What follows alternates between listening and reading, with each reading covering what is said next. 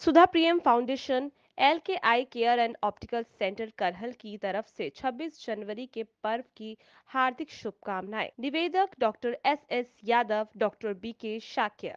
Note, हर महीने पहले व आखिरी रविवार को निशुल्क आयोजित।